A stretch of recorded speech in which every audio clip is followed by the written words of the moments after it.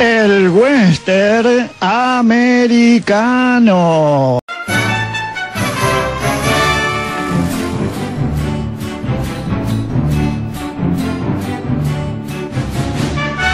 Hoy vamos a hablar de Murieron con las botas puestas.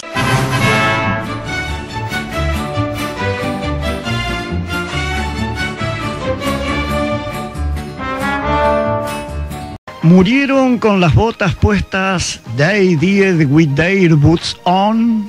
Fue una producción norteamericana del año 1941 de 140 minutos estrenada en Argentina en el año 1942 y dirigida por Raúl Walsh, sobre guion de Wally Klein y Eneas Mackenzie, producida por Robert Fellow y Halbeck Wallis, que contó con la fotografía de Bert Lennon y la música compuesta por Max Steiner.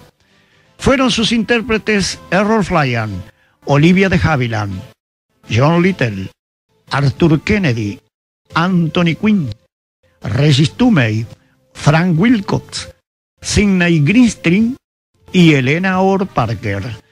un coordinador fue Jackie McCanut.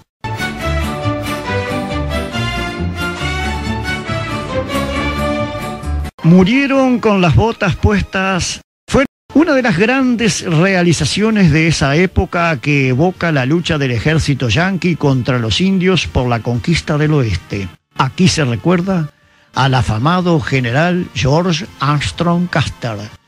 Siendo joven, Custer llega a la Academia Militar de West Point y vive los primeros incidentes con sus compañeros e instructores. En uno de sus castigos conocería a la que sería su esposa, Elizabeth Bacon. Todo cambia cuando comienza la guerra de secesión. Las promociones de oficiales se aceleran y Custer llega a graduarse marchando a Washington. La fortuna y un error administrativo le convertirían en general cuando consigue derrotar al general Stuart.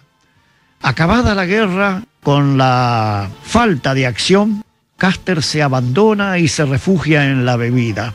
Su esposa, a sabiendas de que la inactividad estaba destrozando a su marido, utiliza sus influencias y consigue que le otorguen el mando del séptimo de caballería, un regimiento desastroso que vigilaba la frontera india, que será transformado por Custer en el orgullo de los ejércitos de la Unión y será uno de los más acérrimos enemigos de los indios. Su dote de mando y su valor no es inavertido por los temibles indios Sioux que lidera Caballo Loco.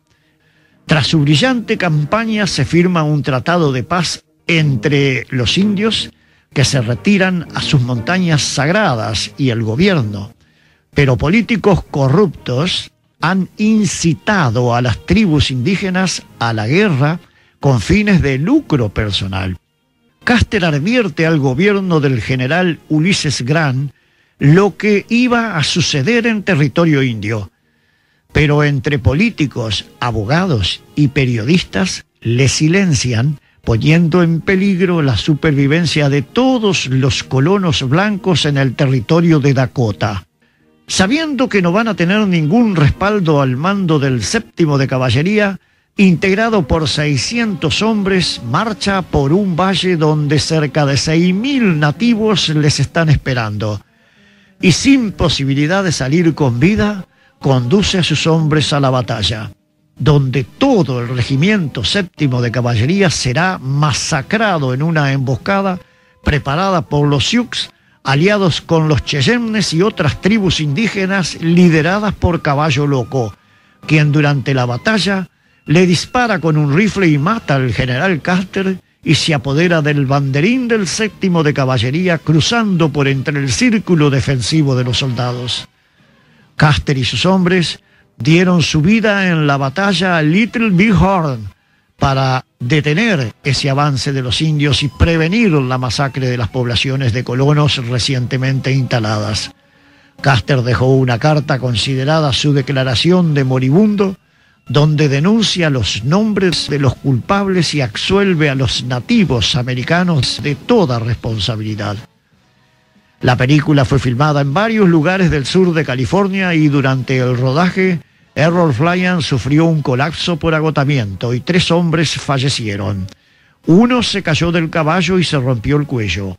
El otro sufrió un ataque cardíaco y el tercero, el actor Jack Budlom, insistió en utilizar un sable real para dirigir la carga de caballería bajo el fuego de artillería, pero una carga explosiva lo hizo caer de su caballo y se ensartó con el sable que lo atravesó en el pecho muriendo empalado. Crazy Horse, caballo loco, interpretado por Anthony Quinn, es uno de los pocos actores de ascendencia mexicana en la película, y solo 16 de los extras utilizados fueron indios Sioux. El resto de los guerreros nativos americanos fueron en su mayoría representados por extras filipinos.